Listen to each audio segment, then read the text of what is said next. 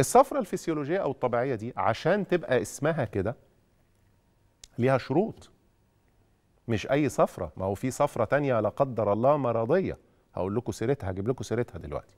لكن الصفرة الطبيعية اللي هي زي ما بنقول الكومن اللي هي الشائعة بتحصل إمتى؟ أول ده شرط.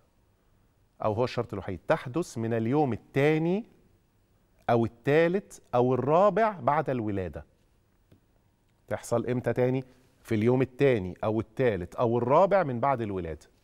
الله يعني الطفل ما يتولدش بيها ابدا. الطفل ما يتولدش بيها ابدا. لو الطفل اتولد بيها رحنا في سكة تانية خالص.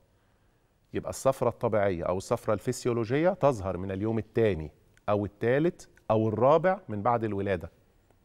وتختفي في حدود أسبوع إلى أسبوعين كحد أقصى. تمام؟ طيب.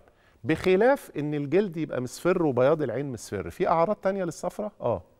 في أعراض تانية بخلاف اصفرار الجلد واصفرار بياض العين. بيكون في ضعف في حركة المولود وبيكون في ضعف في عملية الرضاعة وبيكون صوت البكاء بتاع المولود أوقات بيكون عالي وأغلب الأوقات منخفض قوي بيبقى ما عندوش قدرة قوي على بذل المجهود. أحيانا ممكن يحصل ترجيع.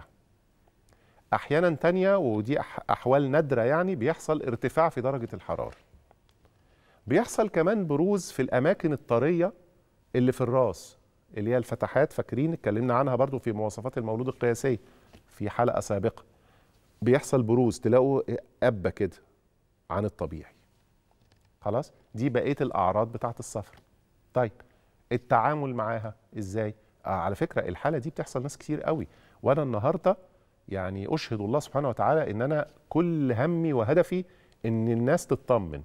سواء اللي بيمروا بهذه المرحلة أو في هذه الحالة في الوقت الآني في الوقت الحالي يعني بيشوفونا كده ويكون ابنهم أو بنتهم المواليد الجدد عندهم صفرة أو يكونوا على وش ولادة زي ما بيقولوا أو كان عندهم صفرة واتفقنا وخايفين يقولوا يا ترى بقى هتترك أثر أو بتاع. قلنا أهم معلومة أنه بمجرد اختفائها لا تترك أي آثار سلبية أو مضاعفات على الطفل. تمام؟ طيب.